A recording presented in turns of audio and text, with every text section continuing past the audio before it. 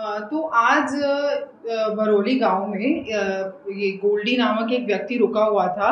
तो एक political rally जा रही थी, राजनीतिक जो रैली जा रही थी, वो आगे निकल गई थी, ये पीछे रुके हुए थे गाँव में अपने दोस्तों के साथ और इनके ऊपर दो अनजान व्यक्तियों ने आके फायरिंग करी और एक आदमी ने गोलियाँ चलाई, तीन गोलियाँ चलाई, एक उधर गोल्डी के कंधे पे लगी है और उनको पीजीआई ले जाया गया और अभी जो हमारी सूचना आई है कि खतरे के बाहर हैं।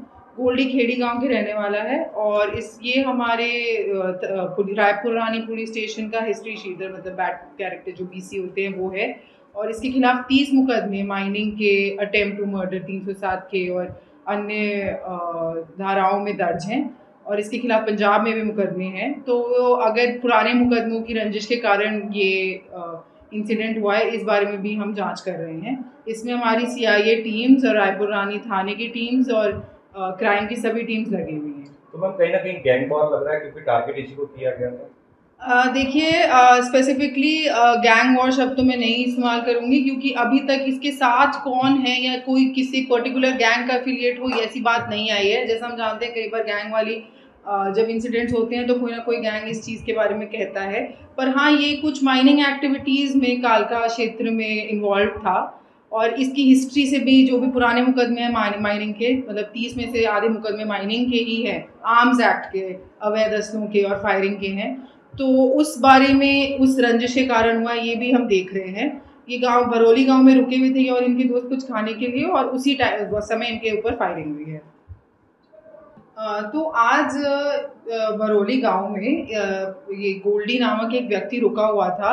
तो एक पॉलिटिकल रैली जा रही थी, राजनीतिक जो रैली जा रही थी, वो आगे निकल गई थी, ये पीछे रुके हुए थे गाँव में अपने दोस्तों के साथ और इनके ऊपर दो अनजान व्यक्तियों ने आके फायरिंग करी और एक आदमी ने गोलियाँ चलाई, तीन गोलियाँ चलाई, एक उधर गोल्डी के कंधे पे लगी है और उनको पीजीआई ले जाया गया और अभी जो हमारी सूचना आई है कि खतरे के बाहर हैं। गोल्डी खेड़ी गाँव के रहने वाला है और इस, ये हमारे रायपुर रानी पुलिस स्टेशन का हिस्ट्री शीटर मतलब बैट कैरेक्टर जो बीसी होते हैं वो है। और इसके खिलाफ तीस मुकदमे माइनिंग के, अटेम्प्ट टू मर्डर तीन सौ सात के और अन्य धाराओं में दर्ज हैं और इसके खिलाफ पंजाब में भी मुकदमे हैं। तो अगर पुराने मुकदमों की रंजिश के कारण ये इंसिडेंट हुआ है, इस बारे में भी हम जाँच कर रहे हैं। इसमें हमारी सीआईए टीम्स और रायपुर रानी थाने की टीम्स और क्राइम की सभी टीम्स लगी हुई हैं। तो मैम कहीं ना कहीं गैंग वॉर लग रहा है क्योंकि टारगेट इसी को किया गया था। देखिए स्पेसिफिकली गैंग वॉर शब्द तो मैं नहीं इस्तेमाल करूँगी क्योंकि अभी तक इसके साथ कौन है या कोई किसी पर्टिकुलर गैंग का अफिलिएट हो ऐसी बात नहीं आई है। जैसा हम जानते हैं कई बार गैंग वाली जब इंसिडेंट्स होते हैं तो कोई ना कोई गैंग इस चीज़ के बारे में कहता है। पर हाँ ये कुछ माइनिंग एक्टिविटीज़ में कालका क्षेत्र में इन्वॉल्व था।